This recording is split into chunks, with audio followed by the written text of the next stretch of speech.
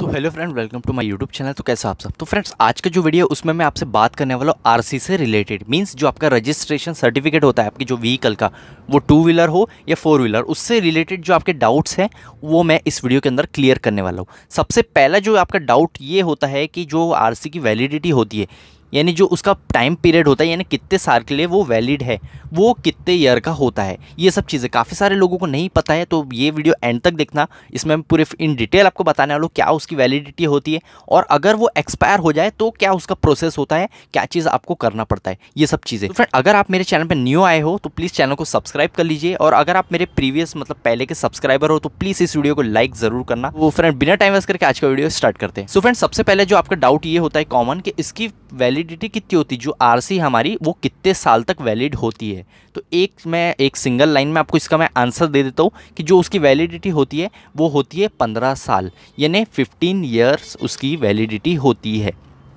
पंद्रह साल उसकी वैलिडिटी होती है। क्या ये हर एक व्हीकल के साथ है? पेट्रोल, डीजल हर एक या फिर टू व्हीलर, फोर व्हीलर तो ऐसा देखो नहीं है। देखो, जो भी मैं एक पेट्रोल और डीजल के आपको हिसाब से मैं बता देता हूँ यहाँ, वो चाहे टू व्हीलर हो या फोर व्हीलर हो तो जो भी है, पहला जो पेट्रोल की जो वैलिडिटी होती है, वो ये होती है पंद्रह साल। जब भी आपकी जो भी गाड़ी है, जो डेट को रजिस्टर्ड हुई है फॉर एग्ज़ाम्पल आज आपकी गाड़ी आरटीओ में रजिस्टर्ड हुई थे तो आज के डेट से पंद्रह साल पेट्रोल गाड़ी की पंद्रह साल की वैलिडिटी होती है। यानी पंद्रह साल आपको कोई दिक्कत ही नहीं है आपको देखना ही नहीं है। यानी पंद्रह साल आप गाड़ी बिल्कुल चला सकते हो ना तो आपको कोई कुछ प्रोसेस करना है ना कुछ।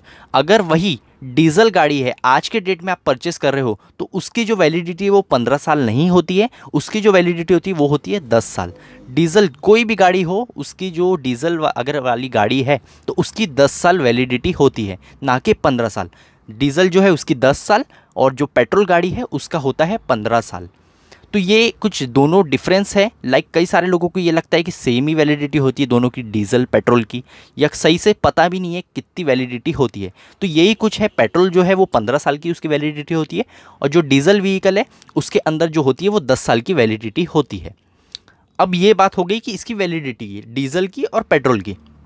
अब ये बात करते हैं कि अगर वैलिडिटी ख़त्म हो जाए तो क्या हम इसे बढ़ा सकते हैं या ये एक्सपायर हो जाती है? तो अब इसके बारे में आपको बात करता हूँ। ये आपका सेकेंड डाउट है। तो एक चीज़ मैं आपको ये बता दूँ, अगर आपकी आरसी की वैलिडिटी ख़त्म हो जाए तो आप इसे रीन्यू करा सकते हो। क्या रीन्यू ये पंद्रह साल और हो जाएँगी या दस साल और हो जाएँगी? तो ऐसा बिल्कुल भी नहीं है। जो भी इसकी वैलिडिटी है, वो फाइव ईयर्स बनाई गई है।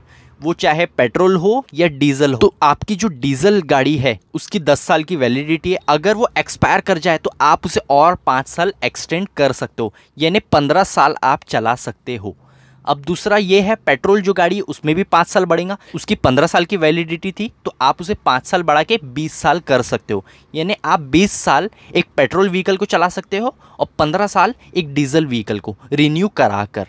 तो यही कुछ पाँच पाँच साल है जो आपके व्हीकल के अंदर आप बढ़ा सकते हो। उसे जो प्रोसेस का नाम है, उसे कहा जाता है री रजिस्ट्रेशन उसके लिए काफ़ी सारी चीज़ें भी आपको लगती है लाइक री रजिस्ट्रेशन तो कराना ही पड़ता है, उसके अलावा आपको ग्रीन टैक्स भी भरना पड़ता है। ये एक अलग चीज़ है, अगर आप इस पर चाहे तो मैं सेपरेट वीडियो आपके लिए क्रिएट कर दूँगा और आपको बता दूँगा। तो यही कुछ आपके डाउट थे, कितनी इसकी वैलिडिटी होती है और अगर ये एक्सपायर हो जाए तो क्या मतलब कितने साल तक हम इसे और बढ़ा सकते हैं? और अगर आप पाँच साल एक्सटेंड कराए भी तो ये नॉर्मली नहीं होता है। कुछ आपकी गाड़ी का जो है इंस्पेक्शन किया जाता है कि आपकी गाड़ी की कंडीशन कैसी है। अगर बहुत ही वर्स्ट कंडीशन है, बहुत ख़राब है तो ऐसे में हो सकता है कि आपका जो रजिस्ट्रेशन है वो और ना बढ़ाया जाए। वहाँ आपकी जो एप्लीकेशन है वो रिजेक्ट कर दिया जाए। बट अगर कंडीशन अच्छी है उसका इंजन भी अच्छा है, कोई ज़्यादा पोल्यूशन नहीं कर रही है, ना धुआँ छोड़ रही है तो ऐसे में इंस्पेक्शन में ये किया जाता है और अगर कंडीशन बहुत अच्छी है आपकी गाड़ी की तो पाँच साल आपको एक्सटेंड कर दिया जाता है। बट लेकिन अगर आपकी कंडीशन ख़राब है तो वहाँ आपको एक्सटेंड नहीं करेंगे। अगर पेट्रोल व्हीकल है तो आपकी पंद्रह ही साल चलेंगी और डीजल है तो दस साल ही।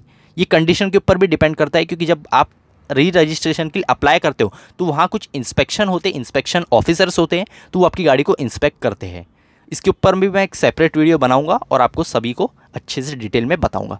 सो फ्रेंड आज आशा करता हूँ आपको ये सब चीज़ें अच्छे से समझ गए होंगे आरसी से रिलेटेड और भी कोई डाउट है तो आप कमेंट करो, मैं आपको कमेंट के थ्रू भी देने की कोशिश करूँगा और इसके ऊपर अगर हो सके तो सेपरेट वीडियो भी हम बनाएँगे। सो फ्रेंड आज के लिए इतना ही, मिलते हैं हमारे नेक्स्ट वीडियो में, जब तक के लिए गुड बाय